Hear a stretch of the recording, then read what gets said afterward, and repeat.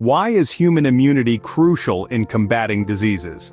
This question has never been more relevant than today, when the world grapples with the ongoing challenges of public health crises. In recent events, New York City detected the polio virus in sewage, a potent reminder of the importance of vaccination. Despite the elimination of polio in the United States in 1979, this occurrence underscores the risk of disease resurgence. The significance of a robust immunization program cannot be overstated considering that as long as a single child remains infected with poliovirus, the danger of the disease spreading to unimmunized populations persists. Simultaneously the conversation around waning immunity has come to the forefront. Studies indicate that immunity from the Pfizer COVID-19 vaccine begins to decrease a few months after completing the two-dose series. Although the vaccine continues to offer robust protection against severe disease, it provides less shield against milder and asymptomatic infections.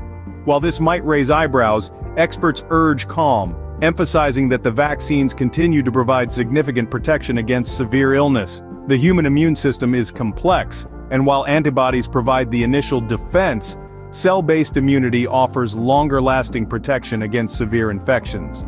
In an unexpected turn of events, President Biden declared, the pandemic is over. The statement however met with concern from public health experts due to the ongoing high burden of disease. The pandemic's definition is subjective, and while the president's comments may not indicate a policy change, some worry it could undermine efforts to vaccinate and protect against the virus.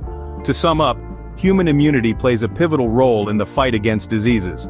From the resurgence of poliovirus to the debate over waning immunity and the ongoing pandemic, it's clear that the understanding and enhancement of human immunity remain critical in safeguarding public health. We must continue to rely on science and vigilance, for our immune system is our first line of defense.